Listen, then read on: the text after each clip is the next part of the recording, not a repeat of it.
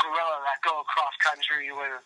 You know, this is back in the time of like Free Willy and stuff like that. We're like, hey, if you put a, a kid and an animal together, it's going to be a big hit. You know, one of those types of things. And so they put me with a gorilla, which was really this dude in an in a suit, in a gorilla suit, where his face was controlled by animatronics, right? and so, and so, like, instance, they had to keep this guy in the suit. Like, it would take about 30 minutes to put him in it and 30 minutes to pull him out of it, right?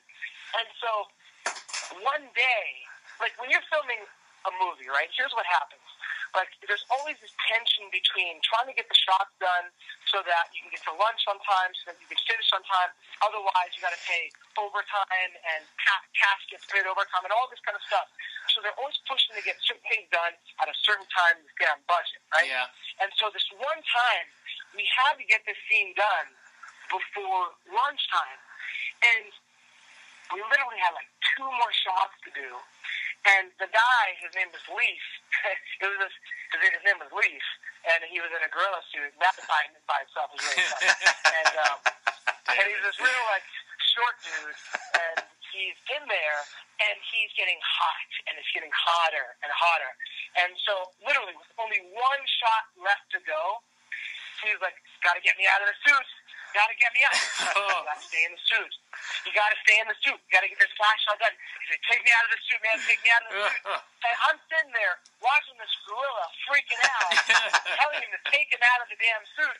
And then, literally, the gorilla went ape shit. literally went ape shit. Started going around the set, throwing stuff, destroying stuff, picking up shit, throwing it down.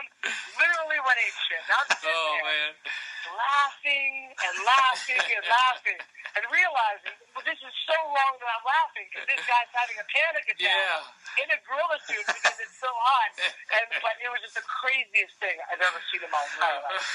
So that being said, you know that that that was a that was a, a pretty interesting experience there. And you know what I'm actually going to do? I decided I'm going to take all the behind the scenes footage of the Sandlot itself I'm just going to put it on the uh, on on the you know the Training Grounds webpage.